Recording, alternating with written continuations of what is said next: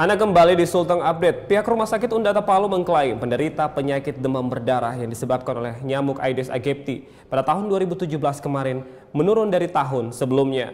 Hal tersebut dipengaruhi oleh iklim cuaca dengan curah hujan yang berkurang, serta tingkat kesadaran masyarakat untuk menjaga lingkungan mulai tinggi.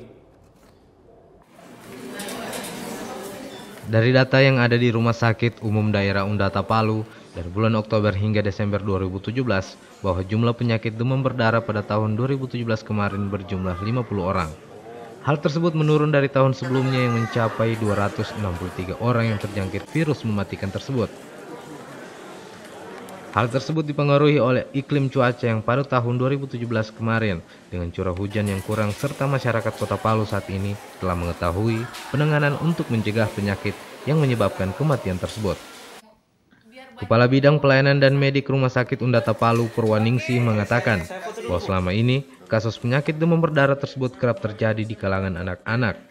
Meskipun begitu, tidak menutup kemungkinan penyakit yang dapat menyebabkan kematian itu juga dapat terserang di kalangan dewasa maupun orang tua pengalaman saya itu. Kalau makan kelapa muda kelapa muda biasanya cuma dibuang begitu kan? Itu kan tidak ditahu kelapa mudanya itu bongkol kelapanya itu kan dia menghadap begini. Nah kalau turun hujan atau kita buang air itu kan pasti di dalam bongkolnya itu air di dalamnya. Itulah tempat juga untuk jentik-jentik nyamuk Meskipun jumlah penyakit tersebut menurun, Purwaningsi juga berharap kepada masyarakat untuk serta-merta menjaga lingkungan sekitar dengan metode penanganan dengan metode penang, dengan metode penanganan penyakit DBD yaitu dengan cara mengubur barang bekas, menguras tempat penampungan air, dan menutupnya. Selain itu, untuk jumlah pasien yang berada di Rumah Sakit Undata Palu mengidap penyakit demam berdarah pada awal tahun 2018 ini masih berjumlah satu orang.